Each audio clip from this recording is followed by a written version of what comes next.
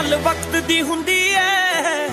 ਸਭ ਸ਼ਿਕਵੇ ਲਾ ਲਾਂਗੇ ਗੱਲ ਵਕਤ ਦੀ ਹੁੰਦੀ ਐ। ਸਭ ਸ਼ਿਕਵੇ ਲਾ ਲਾਂਗੇ ਤੂੰ ਫਿਕਰ ਕਰੀ ਨਾ ਮੀਏ। ਤੇਰਾ ਪੁੱਤ ਪਿੱਛੇ ਨਹੀਂ ਹਟਦਾ। ਆ ਦੁਨੀਆ ਪਿੱਛੇ